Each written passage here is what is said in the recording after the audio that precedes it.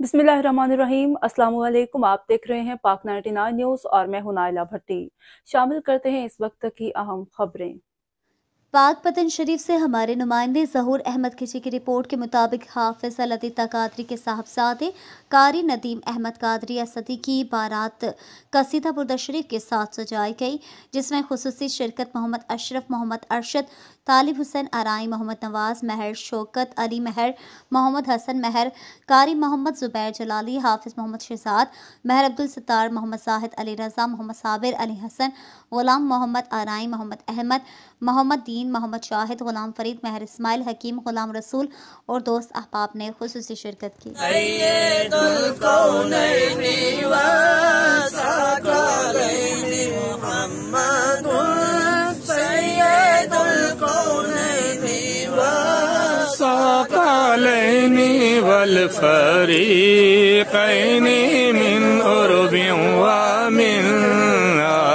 जामी, मौलाया सल्ले वसल्लिम दाइमन आबादन अला हबीबिका